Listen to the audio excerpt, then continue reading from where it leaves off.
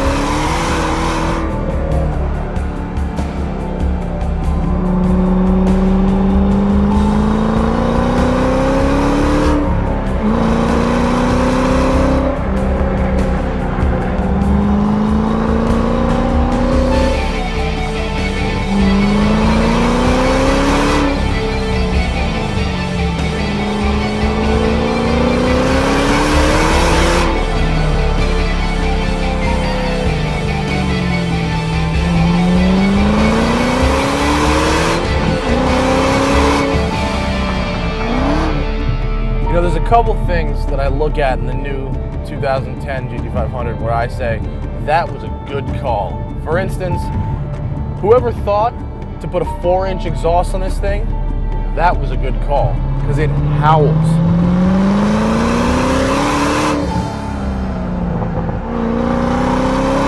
Whoever thought to put a super short throw shifter in it that's real quick on the one two shift, so quick in fact that I can't help but light the tires up every time I shift, that was a good call.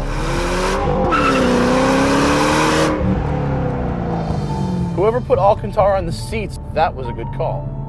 Whoever looked at the last generation GT500's wheels and said, those are lame, make me something better, the guy who did, that was a good call.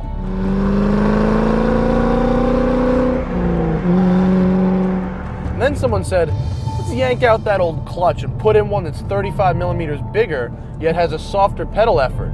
Very good call. And then someone said, let's put in a three-way stability control mode so that when the weather gets bad, I can leave it on. If I want to have some fun on a windy road, I can turn it off. And when it's time to make the donuts, all the way off, and I say, good fucking call.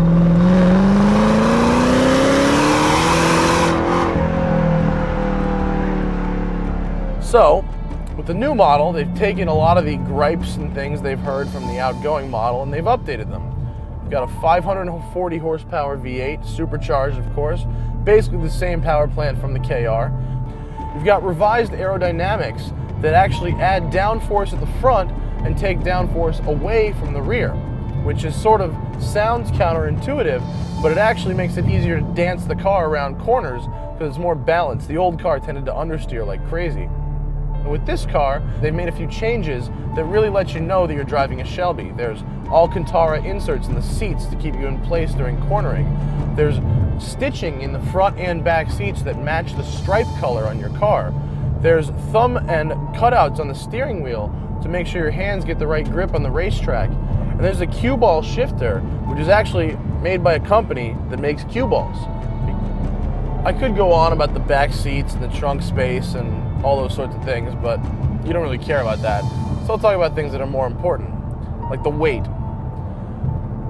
It's interesting what happens with this car because the suspension's good, the engine's good, the power's good, the brakes are good.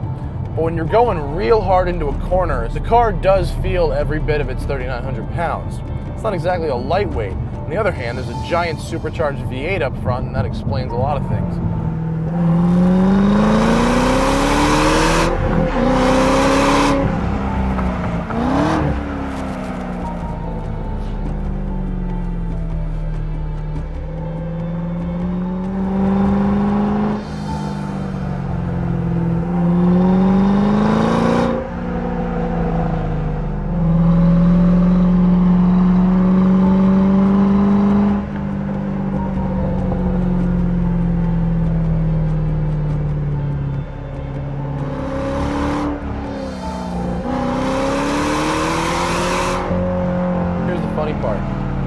Show's over, but it's not. Because right about now, we're not just in this great car driving these great roads. No, no, no. That would be way too easy. A regular episode, maybe, but certainly not for the season finale. Now, we're on our way to Infineon Raceway, where we will absolutely beat the ever loving snot out of this car on the racetrack. There's going to be burnouts, there's going to be donuts, going to be a road course, It's going to be a drag strip. It is going to be fun. You guys better stick around because season finale of Garage 419, and we're going out in a big, big way.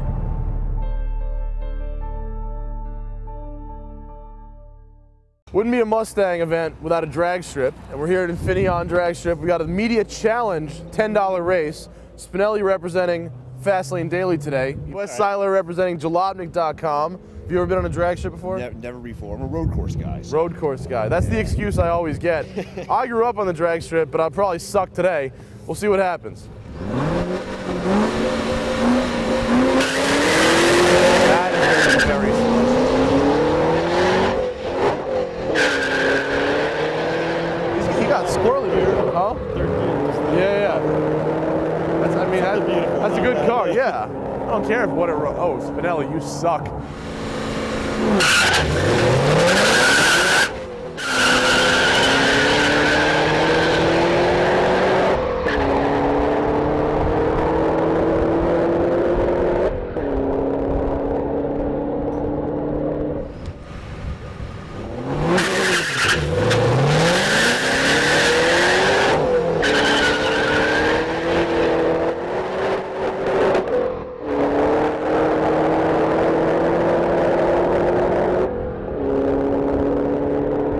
Can't tell by the wind noise coming through the microphone, uh, we're actually battling about a 25 mile an hour headwind here on this drag strip, which will greatly affect your uh, your times. And so far, my best time is a 12.9, which is not all that impressive in the grand scheme of things. Apparently, someone ran a 12.6 earlier today, but it's faster than my group and certainly faster than Spinelli or Wes by a wide margin.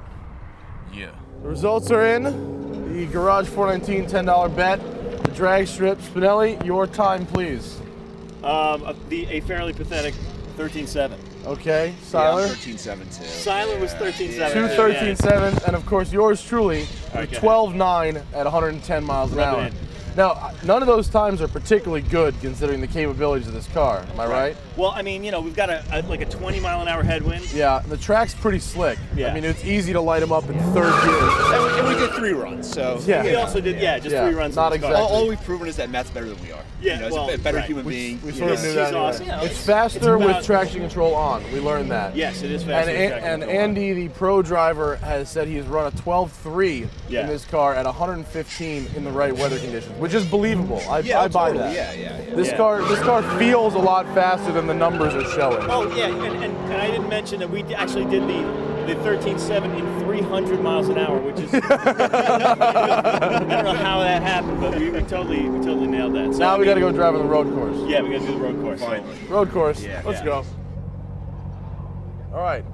We're on the Infineon road course right now, and the goal is to solve the question can a Mustang go around corners? So, we're going to do a lap and we will find out. Starting on the front straightaway, just hammer it out there. 80 miles an hour. Into the first bend, uphill left hander, and the suspension compresses when you get uphill, giving you a lot more grip in this right hand turn. Hard on the brakes into second, tight right hander, just back on power. And the car, you can steer with the throttle, which I like in the front engine rear drive cars. You can really get that steering in with the throttle. And your inputs can dance it around the corners. Oh, nice. You can get understeer or oversteer or balance it in between depending on what you want to do, which I like. Some of the, you know, all-wheel drive, computer-controlled paddle shift and stuff, it doesn't do that. It sticks all the time. I don't really see the fun in that. I like a car to be able to dance and kind of kind of have a fun, have a good time sliding around the track a bit. I hit that apex much better that time. Down into the S's, high-speed sweepers, which is where this car is really at home. 3,900 pounds is a bit too heavy for the tight corners. There we go, a little counter steer, little sliding around going on, no problem. And you can just dance it. I love the fast sweepers in this car. That's where it's really, really, really nice. Alcantara steering wheel gives you some great grip when you're clenching your fists around it. Into the back straight away. So, one lap of the track down. Can the Mustang go around corners? I think the answer is yes. Yes, it will go around corners, and yes, you can have a lot of fun doing it. Good lap. Good lap. Well, guys, that concludes this episode and this season of Garage 419. We've learned that the 2010 GT500 goes fast in a straight line as I ripped a 12.9 quarter mile, goes faster on the racetrack in the fast sweepers, and I can attempt to do figure eights, but I look really sloppy doing it. It's also a great car to live with on a daily basis. It gets the Farah stamp of approval. I love it. And now I'm out of here. Uh, I'm gonna go back to New York and get some sleep. I'll see you guys later.